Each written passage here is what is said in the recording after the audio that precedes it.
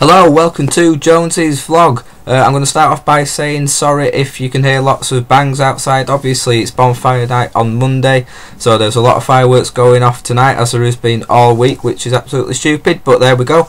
Um, so yes, I apologise if uh, it's a bit noisy outside, but hopefully we'll uh, we'll manage to get through this. Um, two topics tonight, two completely different. Going to react to uh, last night's Leeds Brighton game, uh, mainly Gus Poyet's comments afterwards, and then going to talk about the comedy gig that I actually was at last night, uh, where I went to see Simon Evans. Um, so yes, uh, Leeds drew to all with Brighton last night at the Amex live on Sky. Um, watched the game today, by the way, for before people start coming on saying, you know, you can't comment if you haven't seen it. Well, I did. I watched it today, so there we go.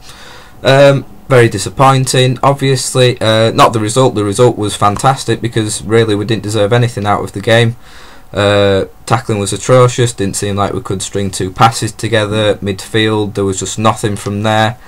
Uh, no really attacking threat up front until Becchio came on and obviously got his goal. Um, then had a few more chances, which was nice to see. But still, he's got his haters uh, on Twitter, but we won't get into that now. Um, but yes, mainly Gus Poyet comments after the game. Uh, now, I, I love the man. I absolutely love Gus Poyet. Um, I think he's a great manager, and I've always said, you know, if, if we ever lose another match, I'd love him back at Leeds. Um, he did. Fan- it was clear that he was the brains uh, behind the outfit when it was him and Wise in charge all those years ago. So yeah, absolutely loved the guy. Always found him really uh, funny. Always found him very um, uh, good in interviews. Um, obviously, last night he was going to be disappointed with how the game went because Brighton deserved the win. You know, uh, they had lots of chances, um, but he just decided to come out all attack against uh, Leeds and Warnock. Um, to say that we went there not to play football is quite harsh. You know, we we didn't play well. That's fair enough. Brighton deserved to win, but you know we we played clearly to get the draw in the end. You know we we battled and fought back for the two-all draw. Um, it wasn't pretty, but we got the point. Which you know it's a results-based industry, isn't it? Football. Um, so to say that we didn't come to play football uh, was very harsh. I thought um, the personal attack on Warnock, uh, based on the uh, Luke Varney penalty incident, um, claiming that it was a, a, a, dive and that Warnock should ban and fine Varney. Um, first of all, you know, yes, it was a soft penalty, but there was contact there. He, you know, he grabbed his shoulder, he pushed him down. Anywhere else on the pitch, he probably wouldn't have gone down, but any forward, I'm sure, would have gone down in that situation. Um, so to say it was a dive is very unfair. Yes, he went down uh, theatrically, um, but I'm sure a lot of forwards, a lot of players would do that anyway. Um, but to call uh, Warnock a hypocrite, that if it would have happened the other way around, just seemed a bit of a personal attack, really. And it just came across very, um, oh, what's the word? It just came across very desperate from from Gus, really, which was disappointing to see. Um, so yes, as for Leeds United themselves, you know, big game on Tuesday against Burnley. Hopefully, we can we can bounce back after that performance. I mean, in the league, we haven't really seen a good performance for quite a few matches now. Um, you know, we need to see more performances like we did against Southampton. So hopefully, we can take that to Burnley, who are in great form with Charlie Austin at the moment. So uh, yeah, a big win there would be fantastic. So that's Leeds United part out of the way. So yes, last night I went to the City Varieties to see uh, comedian Simon Evans, who I first saw a couple of years ago when I went to see Lee Mack and Simon was a support there. And I came out laughing more at Simon's act than I did at Lee Mack's, and I absolutely love Lee Mack. Um, so that really is saying something. But Simon was fantastic that night. Um, he was then on Michael McIntyre's Comedy Roadshow last year or the year before. He was great on that. Seen him on Mock the Week since. Um, heard him on a few uh, comedy podcasts as well.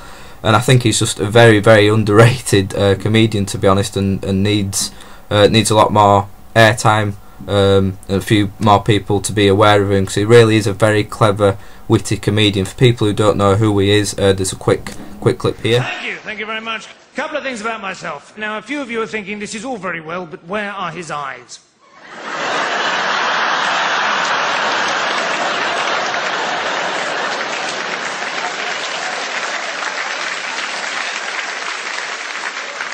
I do have eyes. I can see out. It can appear under stage lighting that there is no more than a couple of crude knife slits pushed into my face, but no.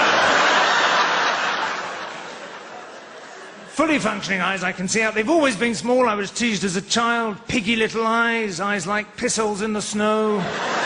Seen bigger eyes on a potato. Mother could be very cruel.